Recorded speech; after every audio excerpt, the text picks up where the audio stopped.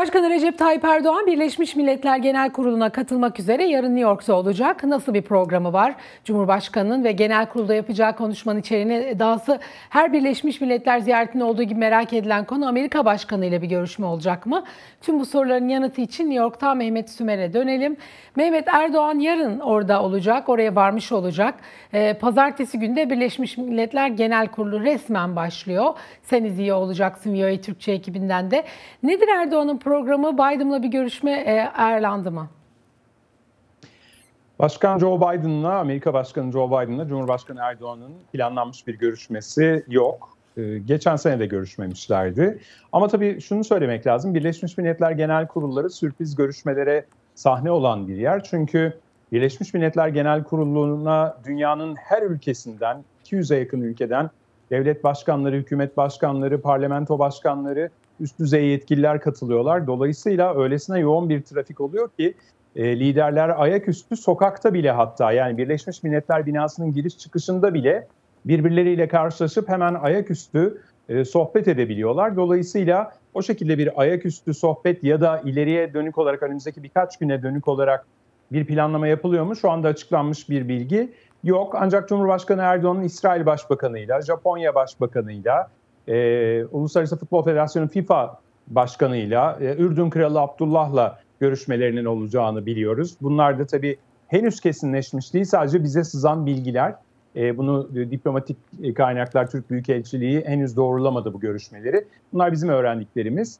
E, bu görüşmeleri yapacak. Cumartesi akşamı yani yarın akşam gelecek. Aslında normalde Birleşmiş Milletler Genel Kurullarında e, Cumhurbaşkanı Erdoğan pazar günleri, pazar akşam üzeri saatlerinde New York'a geliyordu ama bu defa erken geliyor, bir gün erken geliyor.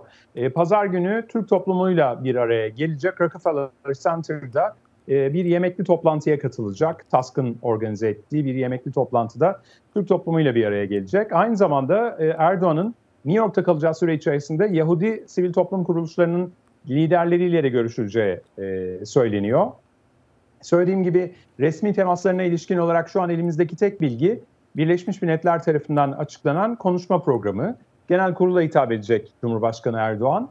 E, her sene olduğu gibi salı günü Cumhurbaşkanı Erdoğan'dan önce e, Cumhurbaşkanı Erdoğan 6. sırada konuşacak ama her zaman olduğu gibi adet olduğu üzere Birleşmiş Milletler Genel Kurulu'ndaki ilk konuşmayı Brezilya Cumhurbaşkanı yapacak. Ardından Amerika Başkanı Joe Biden konuşacak ikinci sırada. Türkiye bazen üçüncü, bazen dördüncü, bazen beşinci ama genelde hep ilk onun içerisinde konuşuyor.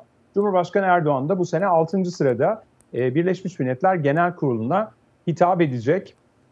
Gündeminde olmasını beklediğimiz konular Rusya-Ukrayna e, savaşı, Türkiye-Yunanistan gerginliği, e, Akdeniz'deki doğal kaynak alanları ile ilgili konular bunlara değinebilir. Her zaman olduğu gibi Filistin meselesine, İsrail-Filistin sorununa atıfta bulunması mümkün olabilir Cumhurbaşkanı Erdoğan'ın. Bunlar her konuşmada dile getirdiği konular çünkü ve tabii yine e, Birleşmiş Milletler'in genel yapısına yönelik olarak daha önce de daha önceki hemen hemen her konuşmasında da dile getirdiği dünya beşten büyüktür ifadesi var. Yani Birleşmiş Milletler Daimi Güvenlik Konseyi daimi üyelerinin e, veto haklarının bulunmasını e, protesto yani do- doğru olmadığını bunun belirtiyor. Bu yapının değişmesi gerektiğini savunuyor Cumhurbaşkanı Erdoğan ve bunu da dünya beşten büyüktür diyerek ifade ediyor. Dolayısıyla yine Bununla ilgili de e, konuşmasında konulara değinmesini bekliyoruz. Ama tabii buraya geldikten sonra geldiği heyetle e, birlikte biz de bilgi almaya çalışacağız.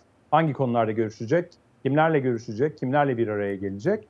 E, yine e, Balkan ülkelerinin liderleriyle benzer şekilde Cumhurbaşkanı Erdoğan'ın e, görüşmeler yapmasını bekliyoruz.